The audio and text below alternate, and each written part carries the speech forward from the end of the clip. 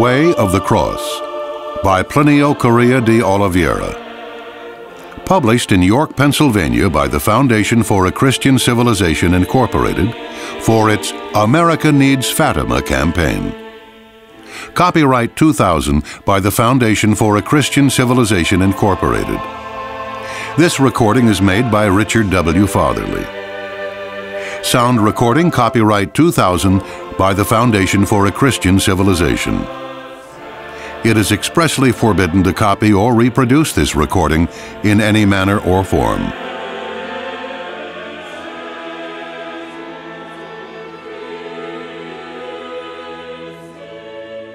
Beginning Prayer O sorrowful Mother, in these times wherein the immense majority of men flee from the sacrifice inherent to perfect fulfillment of all the commandments and counsels of thy divine Son, obtain for all those who meditate on this way of the cross the necessary strength for each to carry his cross to the heights of Calvary.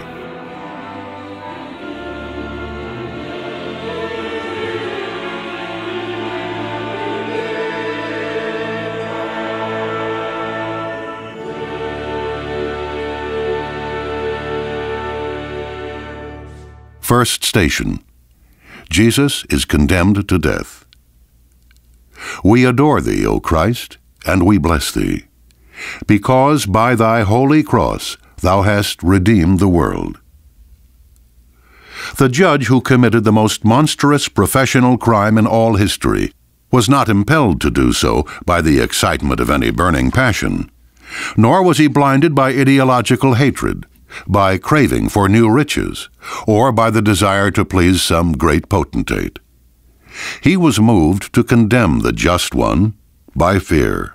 Fear of losing his position for apparent lack of zeal for the prerogatives of Caesar. Fear of causing himself political complications by having displeased the Jewish mob.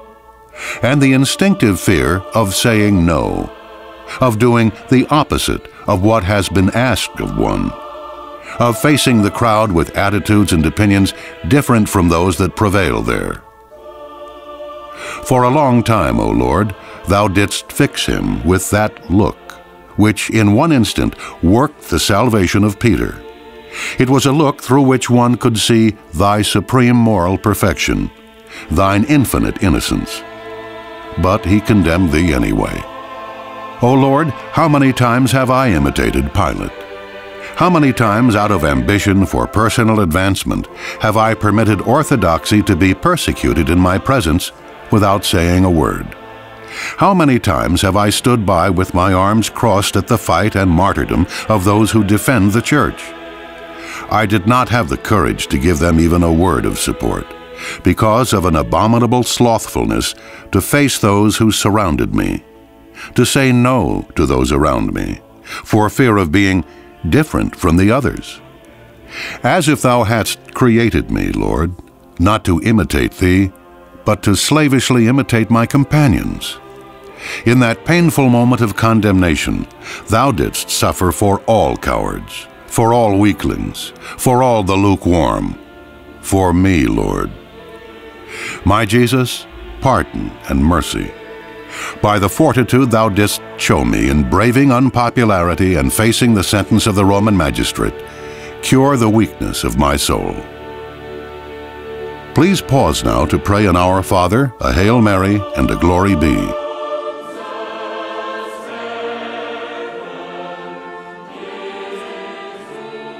Have mercy on us, Lord. Have mercy on us.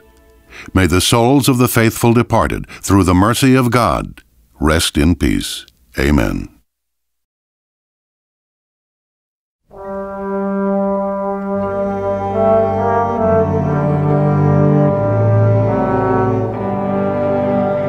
Second station Jesus carries the cross. We adore thee, O Christ, and we bless thee, because by thy holy cross thou hast redeemed the world. Thus began, my adorable Lord, thy walk to the place of immolation. It was not the wish of the Heavenly Father that thou shouldst die by one fulminating blow, In thy passion, thou hast to teach us not only to die, but to face death, facing it with serenity, with neither hesitation nor weakness, walking toward it even with the resolute pace of a warrior advancing to combat. Behold the admirable lesson thou givest me. In the face of pain, my God, how great is my cowardice. Sometimes I temporize before taking up my cross. Sometimes I shrink back, neglecting an obligation. Finally, I accept it, but so irksomely, so half-heartedly, that I seem to hate the burden that thy will hast placed on my shoulders. How often on other occasions do I close my eyes in order not to see the pain? I voluntarily blind myself with stupid optimism because I have not the courage to face the trial. And so I lie to myself. It is not true that the renunciation of a certain pleasure is an obligation for me in order not to fall into sin. It is not true that I must overcome a certain habit which favors my most deep-rooted passions. It is not true that I must abandon a certain group, a friendship which undermines and ruins my whole spiritual life. No, none of this is true at all. I close my eyes and cast aside my cross. My Jesus, pardon me so much sloth. By the wound which the cross opened in thy shoulder, cure, O Father of mercies, the horrible wound I have opened in my soul, through entire years lived in interior dissipation and self-indulgence. Please pause now to pray in Our Father, a Hail Mary, and a Glory Be.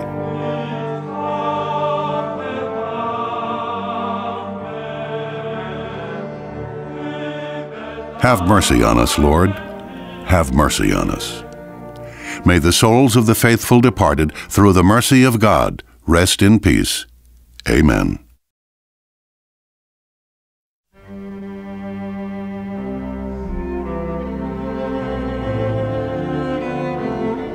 Third station.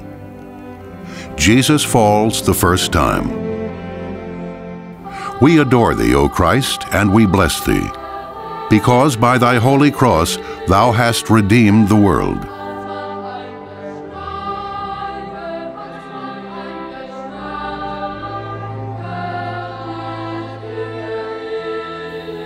What then, Lord? Was it not justifiable for thee to abandon thy cross? By carrying it until all thy strength was exhausted, until the insupportable weight of the wood hurled thee to the ground? Hast thou not clearly proved that it was impossible for thee to continue? Thine obligation was fulfilled. Let the angels of heaven carry thy cross for thee now. Thou hast suffered in full measure all that was possible. What more wouldst thou have to give? Nevertheless, by acting in another way, thou didst give my cowardice a sublime lesson. With thy strength exhausted, thou didst not renounce the burden, but askest for yet more strength to carry the cross once again, and thou didst obtain it. The life of a Catholic is difficult today. To be obligated to struggle unremittingly against oneself in order to keep the commandments seems to be an extravagant exception in a world that flaunts the joy of life in licentiousness and opulence. Heavy on our shoulders weighs the cross of fidelity to thy law, O Lord. At times, we seem to be out of breath. In these moments of trial, we rationalize. We have already done all that we can. After all, a man's strength is so limited. God will surely take this into account. Come, let us drop the cross here by the roadside and sink cozily into a life of pleasure. Ah, many are the crosses abandoned alongside our ways, perhaps along my tracks.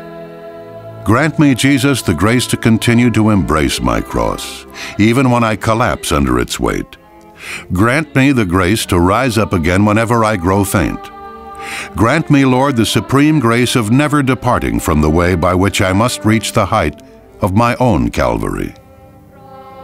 Please pause now to pray an Our Father, a Hail Mary, and a Glory Be.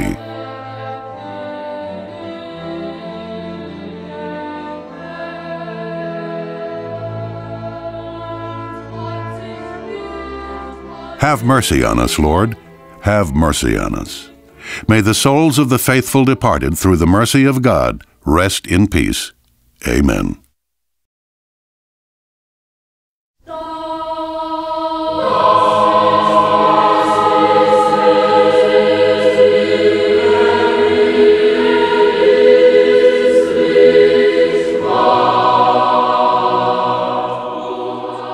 Fourth station Jesus meets his mother. We adore thee, O Christ, and we bless thee. Because by thy holy cross thou hast redeemed the world.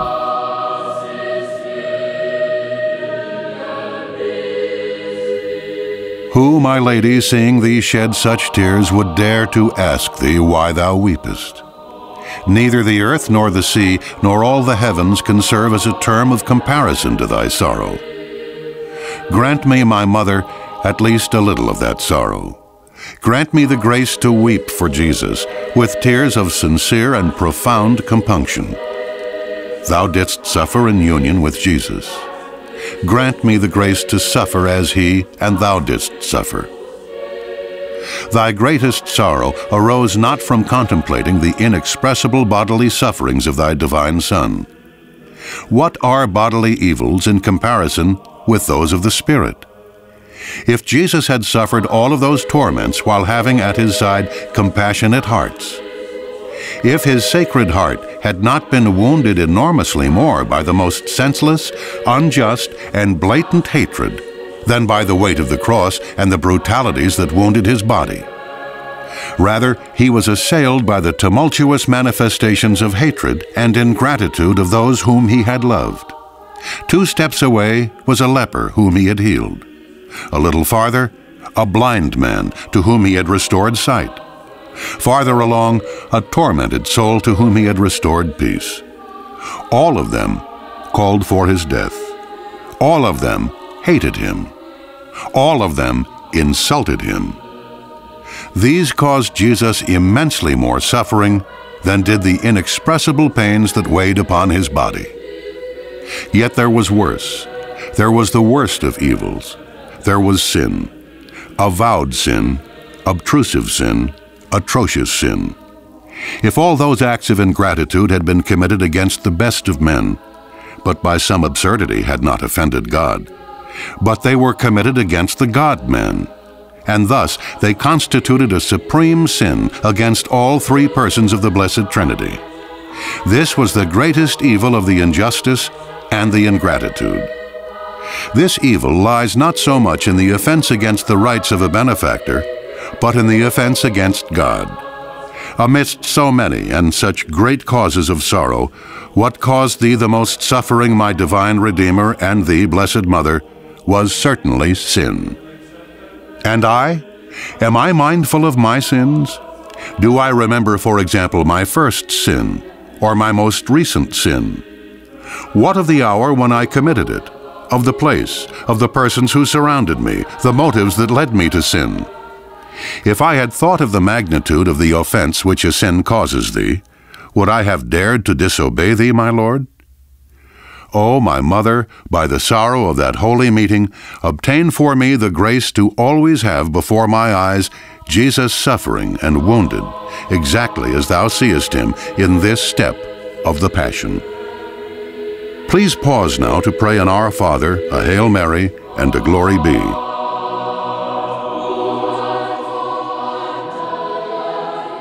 Have mercy on us, Lord. Have mercy on us. May the souls of the faithful departed through the mercy of God rest in peace. Amen.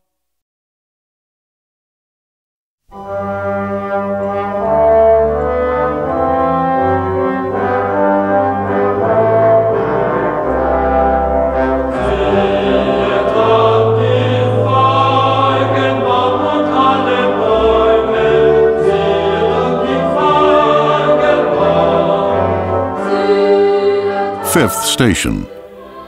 Jesus is helped by the Cyrenian to carry the cross. We adore thee, O Christ, and we bless thee, because by thy holy cross thou hast redeemed the world. Who was Simon? What is known of him except that he was of Cyrene? And what do most men know of Cyrene, other than it was the land of Simon? Both the city and the man emerged from obscurity and entered into glory, the most exalted glory, sacred glory, at a moment when the thoughts of the Cyrenian were far from all this. He was walking carelessly along the road. He was thinking only about those petty problems and petty interests that make up the trivial lives of the majority of men.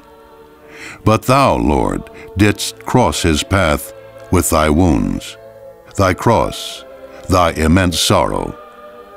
Simon had to take a position concerning thee. The soldiers forced him to carry the cross with thee. He could carry it with bad humor, indifferent to thee, trying to please the people by means of some new way of increasing the torments thou didst suffer in soul and body. Or he could carry it with love, with compassion, scorning the mob, trying to relive thy suffering, taking some of it on himself, so that thou wouldst suffer a little less. The Cyrenian preferred to suffer with thee. For this reason, his name has been repeated with love, with gratitude, with holy envy for 2,000 years by all men of faith, all over the face of the earth. And so it will continue until the end of time. Thou hast passed also along my path, my Jesus. Thou didst pass when thou called me out of the darkness of paganism and into the bosom of thy church through holy baptism. Thou didst pass also when my parent taught me to pray. Thou didst pass again when in the catechism class I began to open my soul to the true doctrine, Catholic and Orthodox. Thou didst pass in my first confession, in my first communion, in all of the moments when I vacillated, and thou didst help me, in all of the moments when I fell, and thou didst pick me up, in all of the moments when I asked, and thou didst hear me. And I, Lord, even now thou passest by me in this exercise of the way of the cross. And what do I do when thou passest by me? Please pause now to pray an Our Father, a Hail Mary, and a Glory Be.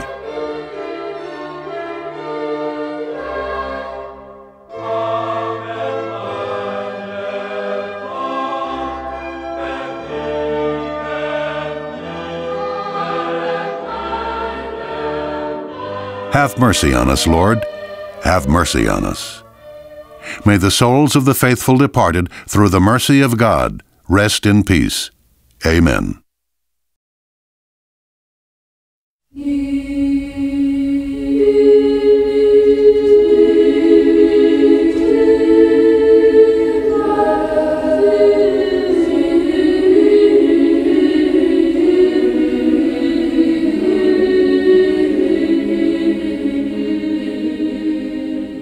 Sixth station.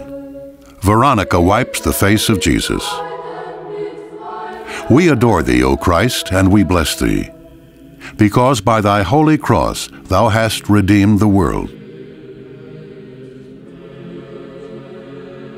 One would say at first glance that never was there a greater reward in all of history. Indeed, what king ever held in his hands a cloth more precious than that veil? What general, a more august banner? What gesture of courage and dedication was recompensed with a more extraordinary favor?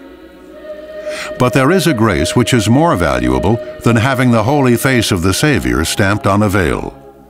The representation of the divine face was made on a veil as in a painting. In the Holy Roman Catholic and Apostolic Church, his face is reflected as in a mirror. In her institutions, in her doctrine, in her laws, in her unity, in her universality, in her unsurpassable Catholicity, the Church is a true mirror in which our divine Savior is reflected. And we, all of us, have the grace of belonging to the Church, of being living stones of the Church. How we ought to give thanks for this favor. Let us not forget, however, that noblesse oblige, Belonging to the church is a very great and very demanding thing. We must think as the church thinks, have the mind of the church, proceed as the church wishes in all circumstances of our lives. This supposes a real Catholic sense, an authentic and complete purity of customs, and a profound and sincere piety.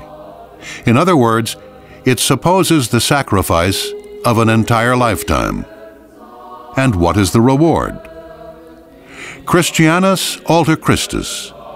It will be in an eminent way a reproduction of Christ himself. The likeness of Christ, vivid and sacred, will be imprinted on my soul. Ah, Lord, if the grace granted to Veronica is great, how much greater is the favor that thou doest promise me. I ask of thee strength and resoluteness, so that I may obtain this favor by being faithful in every trial.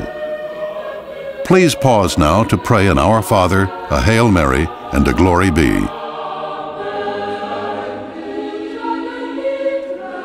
Have mercy on us, Lord. Have mercy on us.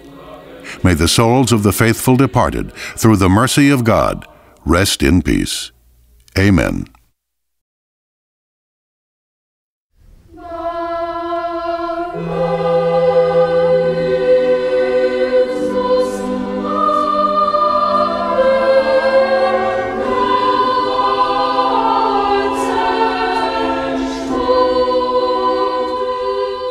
Seventh station.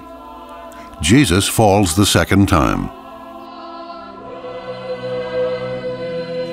We adore thee, O Christ, and we bless thee, because by thy holy cross thou hast redeemed the world.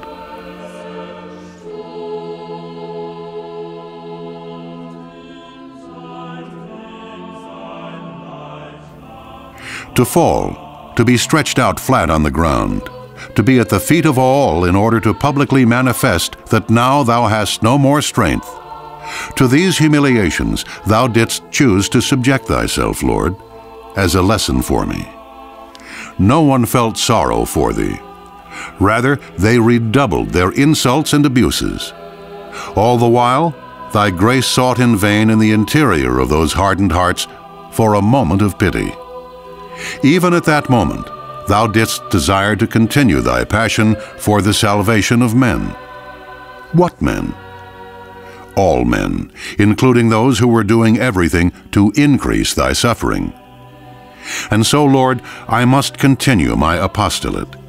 Even when all my works have tumbled to the ground, even when all have joined together to attack me, even when the ingratitude and perversity of those to whom I have wished to do good have turned against me. I will not be so weak as to change my path to please them. My ways can only be thy ways, the ways of orthodoxy, of purity, of austerity. Following thy ways, I shall suffer for them. With my imperfect sorrows united to thy perfect sorrow, thine infinitely precious sorrow, I shall continue to do good for them so that they may save themselves or so that the rejected graces may accumulate over them like burning coals clamoring for punishment. Thus thou didst with the nation, which committed the deicide. And so also wilt thou do with those who will reject thee until the end of time. Please pause now to pray an Our Father, a Hail Mary, and a Glory Be.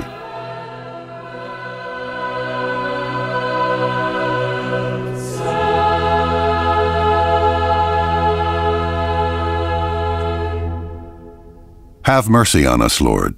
Have mercy on us. May the souls of the faithful departed, through the mercy of God, rest in peace. Amen.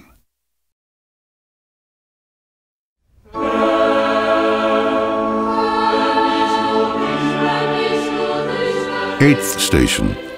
Jesus consoles the daughters of Jerusalem.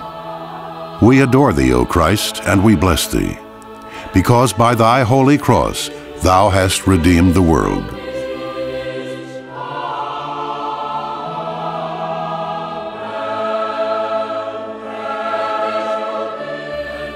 There were at that time good souls who, realizing the enormity of the sin being committed, feared the divine justice. Am I not witness to a certain sin like that? Is it not true that today our Lord Jesus Christ and His Holy Church are disobeyed, abandoned, betrayed? Is it not true that the laws, institutions, morals, and ways of the people are more and more hostile to Jesus Christ? Is it not true that Our Lady spoke at Fatima, pointing out all of these sins and asking for penance? But where is the penance? How many are there who really see these sins and who try to point them out, denounce them, fight them, dispute every inch of their advance, raise up against them a whole crusade of ideas, of acts, of force if it be necessary? And how many are there who are capable of unfurling the standard of absolute and flawless orthodoxy in the very places where impiety or false piety struts? How many are they who live in union with the Church during this moment that is tragic as the Passion was tragic, this crucial moment of history when all mankind is choosing to be for Christ or against Christ? Oh my God, how many myopic ones are there who prefer neither to see nor to foresee the reality which lies plainly before their eyes? How much false peacefulness? How much trifling well-being? How many petty routine pleasures? How many tasty dishes of potage to be eaten? Grant us, Jesus, the grace not to be of that number. Grant us the grace to follow thy counsel that is, to weep for ourselves and for our own. Give us not just a few sterile tears, but grant us a flood of tears, which, poured out at thy feet and made fertile by thee, may become for us forgiveness, strength for the apostolate, for the fight, and for acts of intrepidity. Pause now to pray an Our Father, a Hail Mary, and a Glory Be.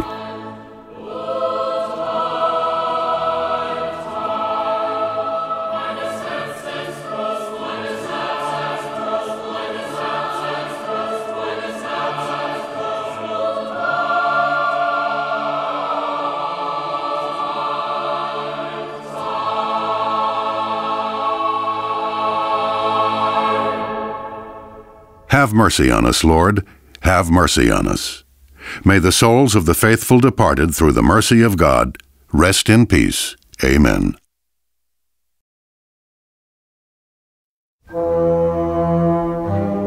Ninth station.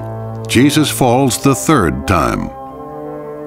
We adore thee, O Christ, and we bless thee, because by thy holy cross thou hast redeemed the world.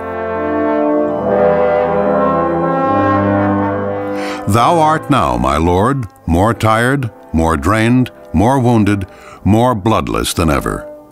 What awaits thee? Hast thou reached the end? No. Precisely the worst is yet to come. The most atrocious crime is still to be perpetrated. The worst sorrows still must be suffered. Thou art on the ground a third time, but nonetheless, all that is behind thee is no more than a preface and behold, thou once again movest that body, which is but one wound. The seemingly impossible is being achieved. Once more, thou slowly riseth to thy feet, even though every movement increases thy pain. There thou art, Lord, standing once again, with thy cross. Thou didst know how to find new strength, new energy, and thou didst continue. Three falls, three equal lessons in perseverance, each more poignant and more expressive than the last. Why so much insistence? Because our cowardice is insistent. We resolve to take up our crosses, but cowardice always comes charging back, so that cowardice might find no pretext in our weakness. Thou didst desire to repeat the lessons three times, thyself. Yes, it is true, our weakness cannot serve us as a pretext. Grace, which God never refuses, can do that which mere natural strength would never be able to do. God wishes to be served to the last breath, to the exhaustion of the last drop of strength, and He multiplies our capabilities for suffering and doing so that our dedication may reach the extreme limit of the unforeseeable, the improbable, the miraculous. The measure of love of God is to love him without measure, said St. Francis de Sales. The measure of fighting for God consists in fighting without measure, it may be said. But I, how quickly I tire. In my works of apostolate, the least sacrifice holds me back. The least effort terrifies me. The slightest combat puts me to flight. I like the apostolate. It is true. The apostolate I like is one entirely in accordance with my liking and fancies, to which I give myself when I wish, as I wish, and because I wish. After that, I consider I have done a great alms deed for God. But God is not satisfied with this. For the church, He wants my whole life. He wants organization. He wants sagacity. He wants intrepidity. He wants the innocence of the dove and the cunning of the serpent, the sweetness of the sheep and the irresistible and overwhelming wrath of the lion. If it be necessary to sacrifice my career, friendships, family ties, petty vanities, and inveterate habits to serve our Lord, I must do so. For this step of the Passion teaches me that we must give everything to God, absolutely everything. And after having given everything, we ought to give our very lives as well. Please pause now to pray an Our Father, a Hail Mary, and a Glory Be.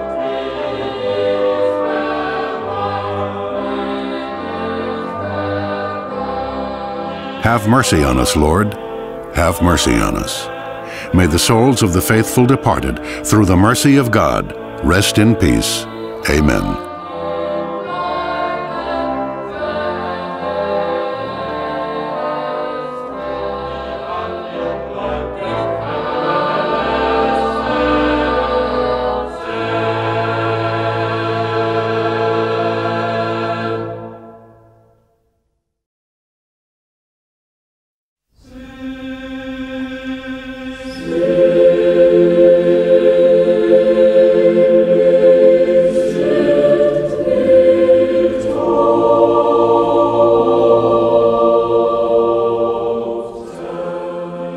Tenth station, Jesus is stripped of his garments.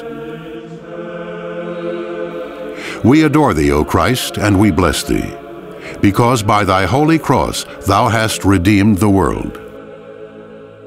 Everything, yes, absolutely everything. We must suffer even shame for the love of God and for the salvation of souls. The proof of this, he who is purity par excellence was stripped and the impure mocked him in his purity. Our Lord endured these jests of impurity. Does it not appear insignificant for him, having already endured so many torments, to endure these jests as well? But this lesson, like the others, was necessary for us. Because of the scorn of a maidservant, St. Peter denied our Lord. How many men have forsaken our Lord for fear of ridicule? If men go to war and face gunfire and death to avoid being mocked as cowards, is it not perfectly true that certain men fear laughter more than anything? The Divine Master faced ridicule. He taught us that nothing is ridiculous when it is in the line of virtue and goodness. Teach me, Lord, to reflect in myself the majesty of thy countenance and the strength of thy perseverance when the wicked wish to use the arm of ridicule against me. Please pause now to pray an Our Father, a Hail Mary, and a Glory Be.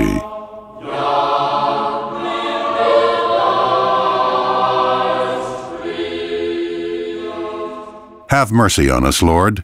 Have mercy on us. May the souls of the faithful departed, through the mercy of God, rest in peace. Amen.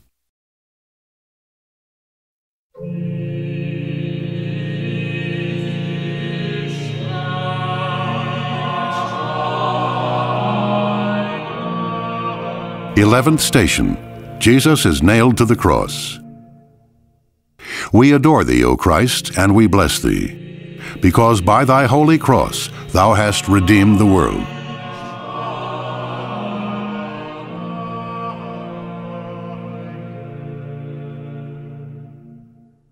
For thee, my Lord, impiety chose the worst of final torments. The worst, yes, because it was that which causes one to die slowly, that which produces the greatest sufferings, and that which, being reserved for the most abject criminals, was the most infamous.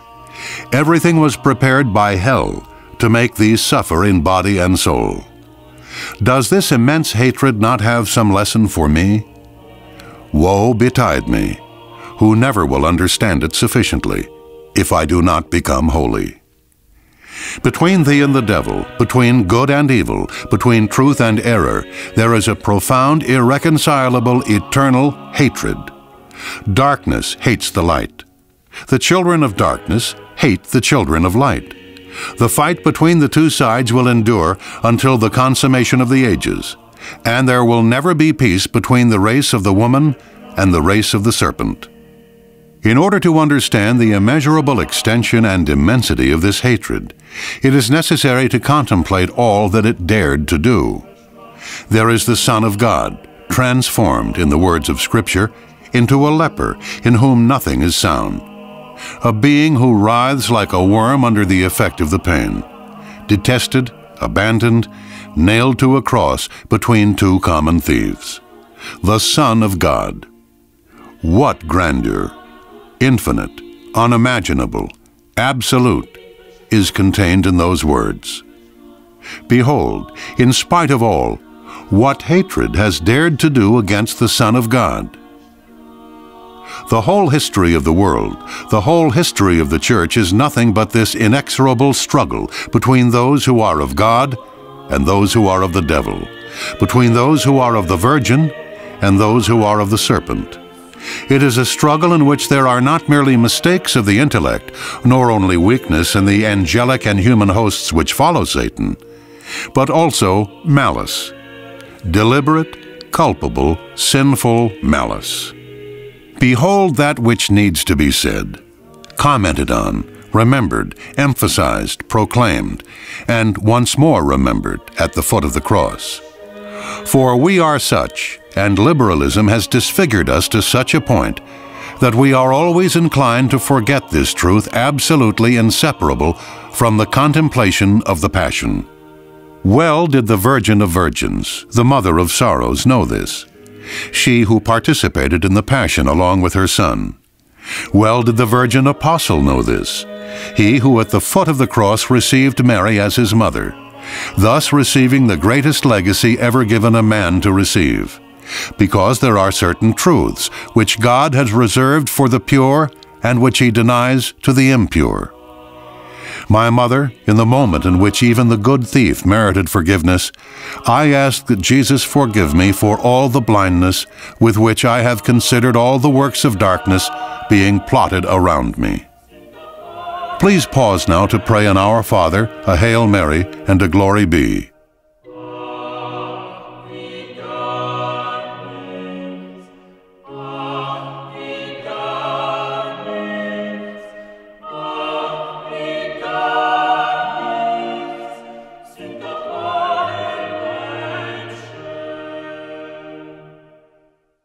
Have mercy on us, Lord, have mercy on us. May the souls of the faithful departed, through the mercy of God, rest in peace. Amen.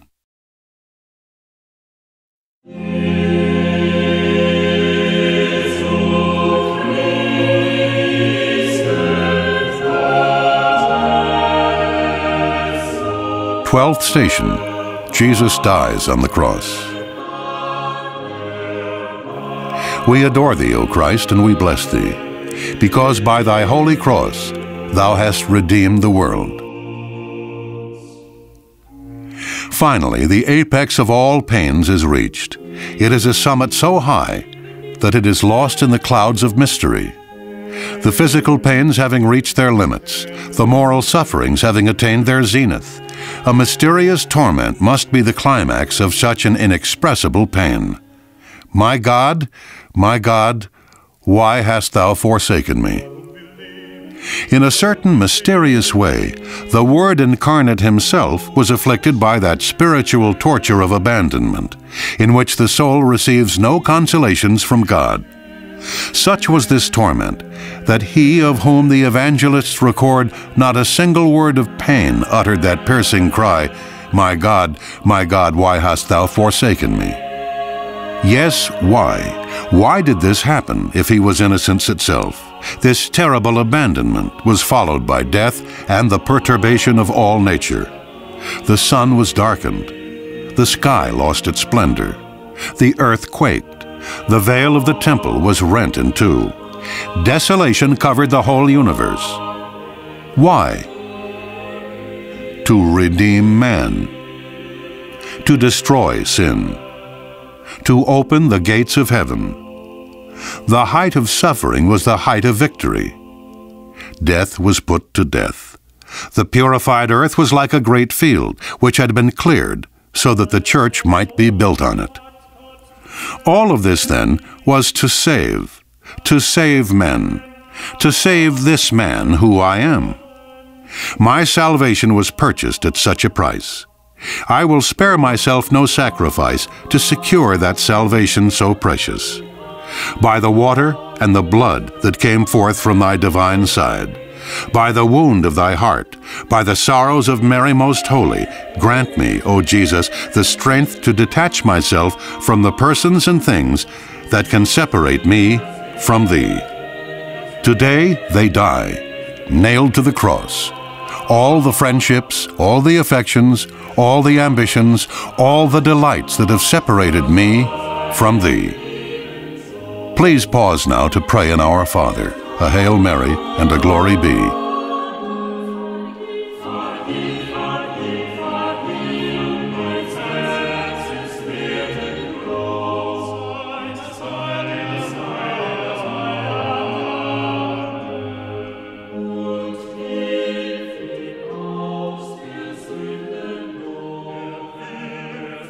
Have mercy on us, Lord. Have mercy on us. May the souls of the faithful departed, through the mercy of God, rest in peace. Amen.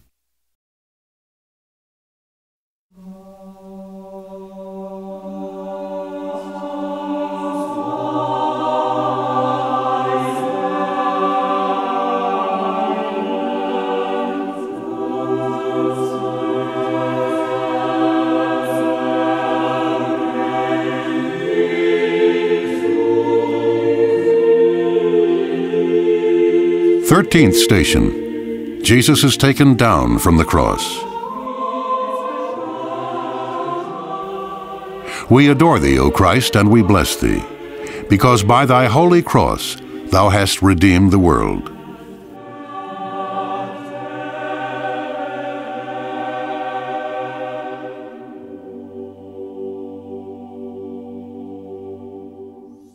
The repose of the sepulchre awaits thee, Lord. In the shadows of death, thou dost open heaven to the just in limbo. While on earth, around thy mother, a few faithful ones gather to give thee funeral honors. In the silence of those moments, there is the first glimmer of an aborning hope. Those first acts of homage, being offered to thee, mark the inauguration of a series of acts of love by redeemed mankind that will continue until the end of time. It is a scene of sorrow and desolation, yet of great peace as well. It is a scene wherein something of the triumph is presaged in the ineffable cares with which thy divine body is treated. Yes, those pious souls condole with one another, but there is something about them that makes one foresee in thee the glorious victor. May I also, Lord, in the great desolations of the Church, be always faithful. May I present in the saddest hours unshakably preserving the certainty that thy spouse will triumph by the fidelity of the good, because thy protection assists her. Please pause now to pray an Our Father, a Hail Mary, and a Glory Be.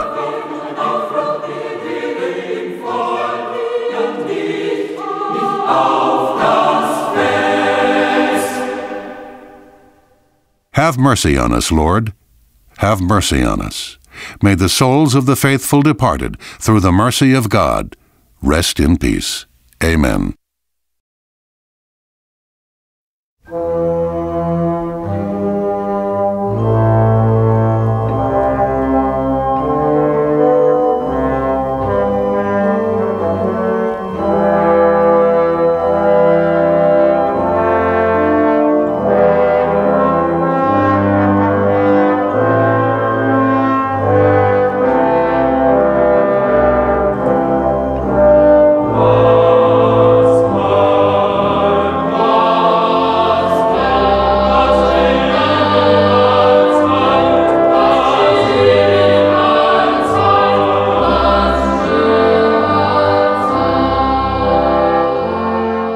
Fourteenth station. Jesus is laid in the sepulchre.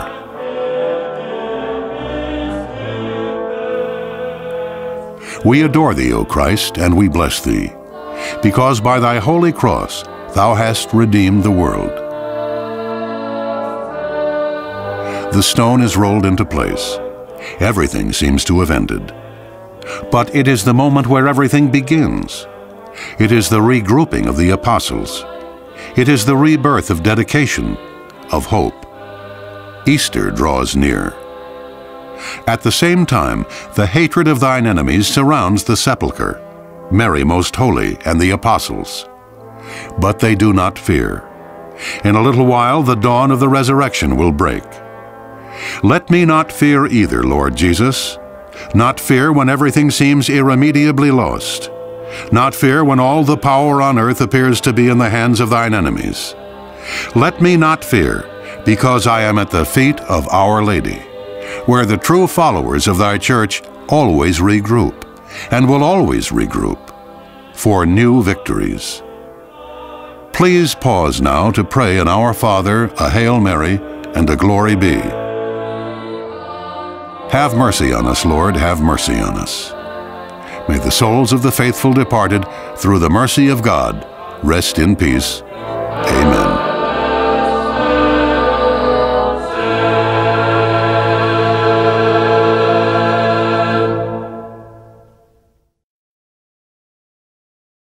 This concludes The Way of the Cross by Professor Plinio Correa de Oliveira, as read by Richard W. Fatherly. If you would like to receive additional copies, please call 1 888 317 5571 or write to America Needs Fatima, Post Office Box 341, Hanover, Pennsylvania 17331.